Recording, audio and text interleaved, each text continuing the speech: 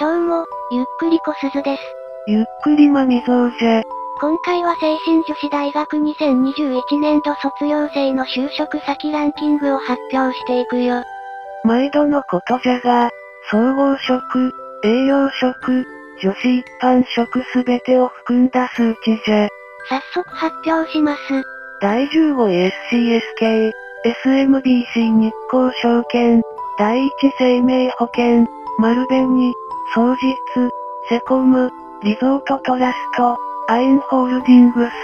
IMS グループ、東京海上アシスタンス、メガネトップ、日清グループホールディングス、トヨタモビリティ東京、川崎市教育委員会、自衛隊、東京都、静銀ビジネスクリエイト、ブリッジインターナショナル、第9位 TMI 総合法律事務所、システナ、日医学館、住友不動産販売、東京海上日動火災保険、富士ソフト、第6位岡三証券、三井不動産リアルティ、西村朝日法律事務所、第5位アンダーソン毛利友常法律事務所、第3位三菱 UFJ 銀行、東京都教育委員会、第2位日本生命保険、第1位明治安田生命保険。